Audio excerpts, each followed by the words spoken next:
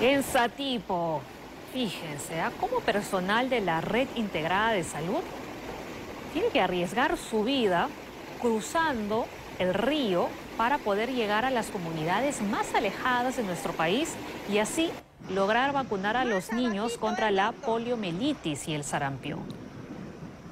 Vean cómo el agua incluso les llega por encima de las rodillas, algunas mujeres hasta la altura de las cinturas.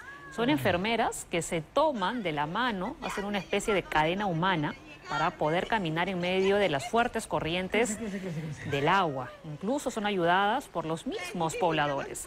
Las microredes de salud de Valle Esmeralda y Río Tambo, ubicadas en el BRAE, son las más afectadas debido al riesgo que existe de que los ríos incrementen su caudal repentinamente.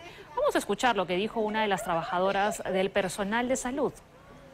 Nuestra jurisdicción tiene 88 establecimientos de salud, de las cuales 38 se encuentran ubicadas en las zonas más alejadas y dispersas, donde pues obliga a nuestro personal a trasladarse, ¿no? Y tiene más dificultad para llegar a estos lugares, ya que en algunos casos se va en, balsas, en Pequepeque, porque tenemos la cuenca de Río Tambo y Río N, que las comunidades pues nativas se instalan a vivir en estos lugares. ¿Cómo puede obligar el Ministerio de Salud a estas trabajadoras a tener que trasladarse de esa manera, arriesgando sus vidas, que sí, por una buena causa, para vacunar a los pequeños? Pero no les pueden dar algún medio de transporte, un bote para que puedan ir eh, de una forma más segura y no tener que cruzar el río y enfrentarse a las fuertes corrientes. ¿Es en serio? A ver si el Ministerio de Salud toma nota de estas imágenes, por favor.